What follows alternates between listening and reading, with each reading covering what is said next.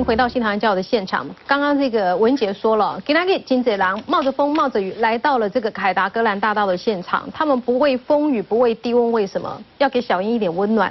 为什么？一共一对后边警服们加个头前的时阵，大家拢讲的一个问题：宇昌案，红大家非常的愤慨。宇昌案有问题，你为啥无被他咋办？你这个政府不是非常的清廉吗？如果有问题，为什么不好好办，却用这样一个政治操作的手法？然后呢？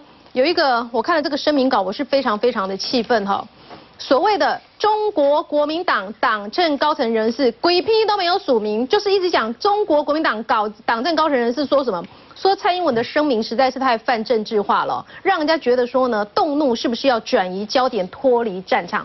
安尼格里起呼，蔡英文确实是这个这件事情的回应，他相当的气愤哈。为什么蔡英文那么生气？为什么我也觉得蛮生气的？就是我们事情还没有搞清楚之前是不应该生气。但我依然记得，两千零七年当宇昌生技公司成立的时候，大家是怎么样期待这家生技公司可以有所作为？台湾的重点产业、重要发展产业，金马红布开始生命照他开生命快的得波。我们先来看看蔡英文的回应跟宋楚瑜的看法。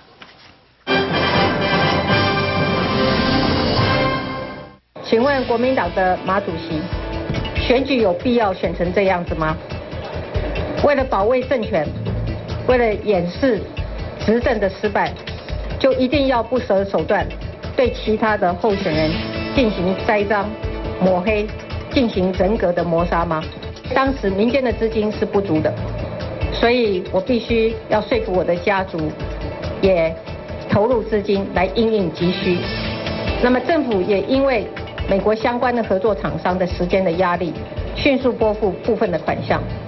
当时本人已对外说明，而且我已经承诺，如果民间的资金到位以后，家族的投资就会退场。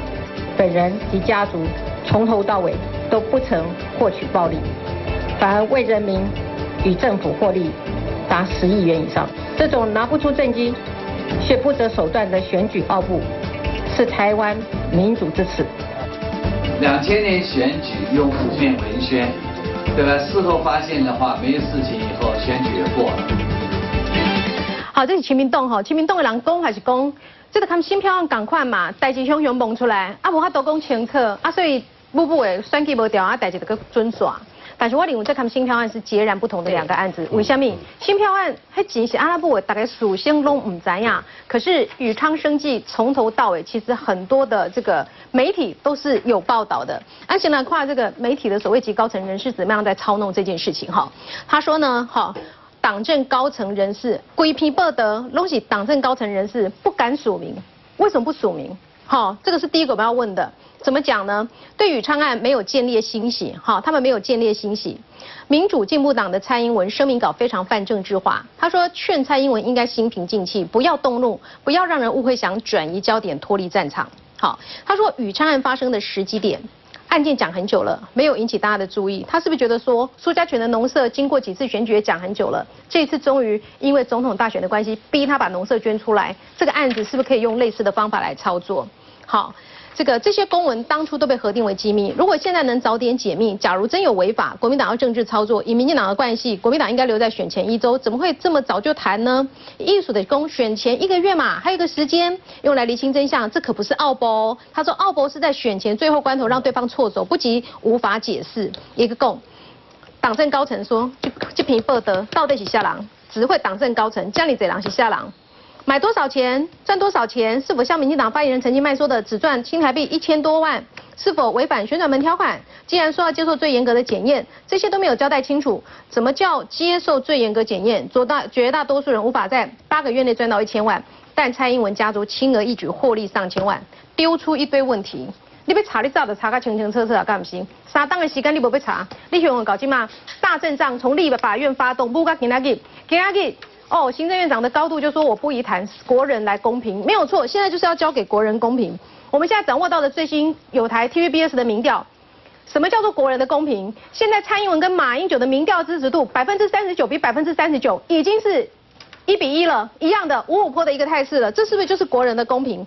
我经常被我打开跨界的《天下》杂志冷清空气你的皮报德。好，《天下》杂志来跨界哈，两千零七年九月。天下杂志第三百八十一期，当时怎么看宇昌生技公司哈？呃，这是何大一，哈，国际艾滋权威。他说他很喜欢一句话，他先带出这句话：过度急于避免所有的风险，就是接受平庸，还放弃领导。所以呢，他这一次来做宇昌科技，有风险，但我们要做。他说也是重要的时刻，你必须要相信你所做的事情。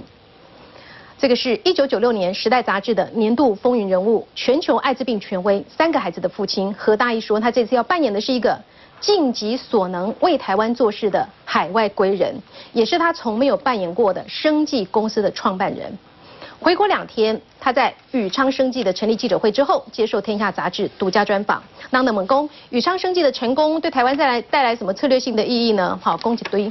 他说他是要做一个不是用钱衡量的成功哦，他要说的就是说，宇昌的意义已经超过新药带来的商业层面了。他要让台湾有能力可以做到一个国际级、临床级的药品。好，这是他的初衷。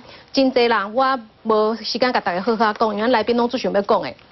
我个给大家用这个重点，但是天下杂志的文案嘛哈，蔡英文没有做过生意啊，请他出任董事长，到底看中什么特质呢？我们来看看，这是国际艾滋权威何大一的评估哦。一个公司要成功，从投资、科学、临床管理到领导，都是要最棒的人。如果坐下来和蔡英文谈话，无疑会感受到他是很聪明的，他也有领导人的特质，能够好好跟人谈话，能够说服人，有这样的魅力。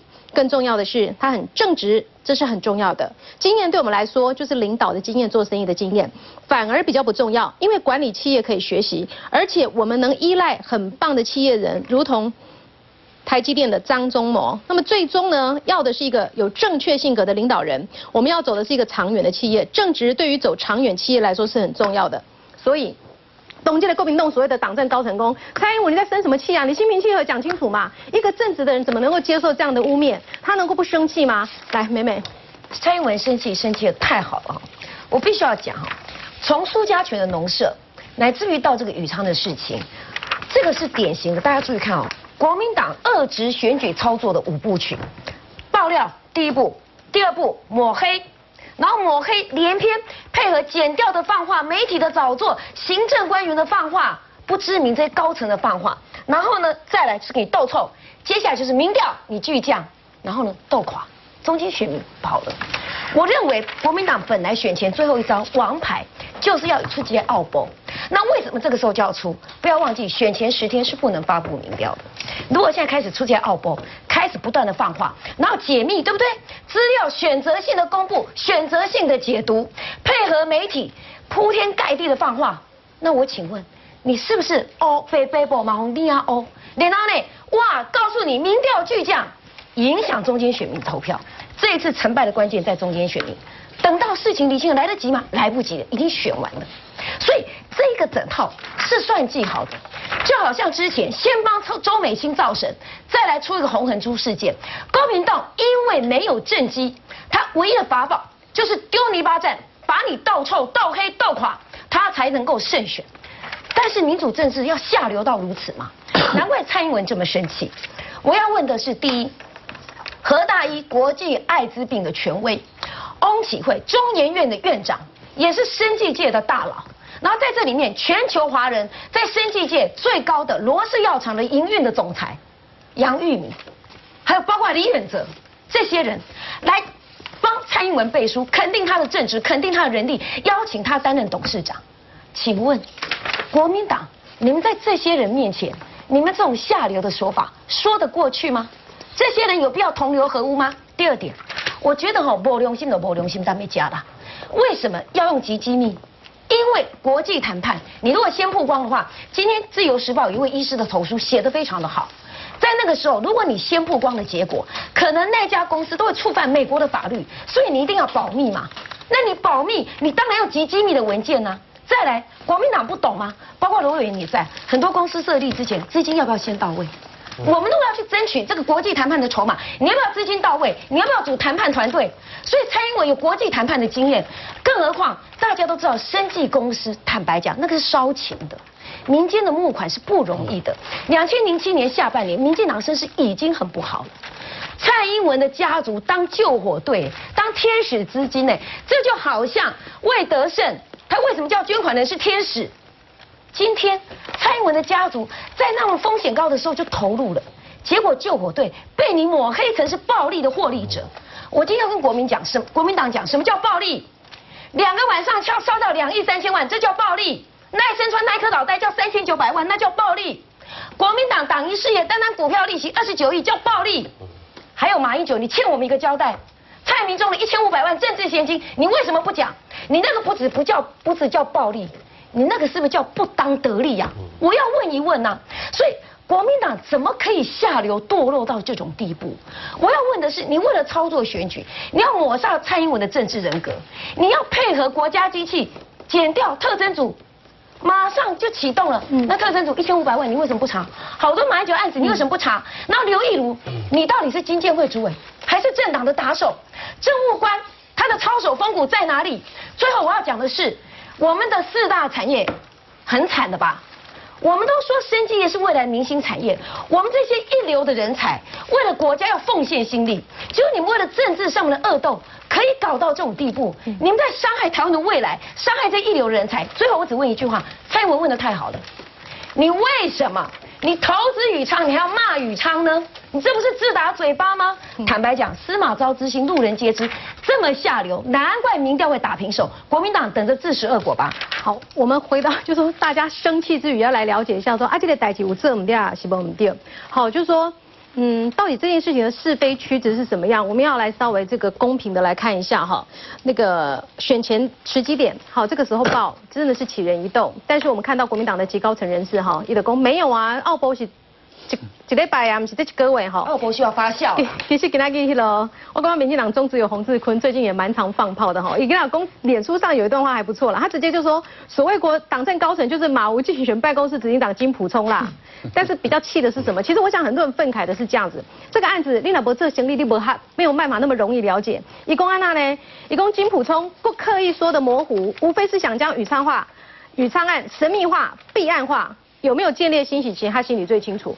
安来垮哈，他们先问，其实程序上五级电话他给啊，到底为什么他给哈？安来这经历，零七年为什么以极机密承包投资案保密要到什么时候？好，当时的这个经济会主任何美月供了嘛哈？他说其实没有解密的年限啦，随时可以解密。阿另外我来经过进一步的了解，就说所谓的极机密哈，按观众没有可能只听刚刚讲哦，这会不会是国家机密？所以略为极机密啊。根据我了解，这个所谓的极机密是属于公务机密，不是国家机密。所以公呢，上面跟着公务机密，譬如公。考机嘛是机机密嘛，考机就是你跟长官知道的事情，别人不能知道，这叫机密。那国家机密就比较不一样了哈。那现在一般人都觉得说，这是不是所谓国家机密的机机密？不是，不一样的。那么还有再问，就说六天内来决定投资宇昌，为什么？和美月供唔是啦，是酝酿半年了，不是几天就拨款。蔡英文为什么在零七年八月三十一号两度发函国发基金，要求拨款四千万？为什么那么急哈？金建会的资料是说，第一封是说请拨到台茂蛋白科技筹备处啦。那么后来就哎公司改名了嘛，所以第二封就是哎拍谁该名啊，所以其实加起来就是一封啦，就是宇昌生技家族到底获利多少？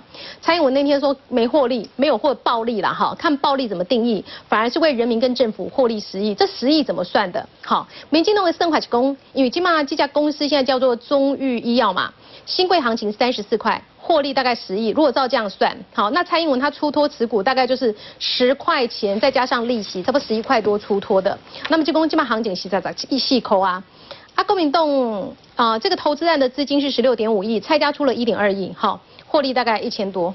国民党是说没的，这边让你看哦，起码终于一。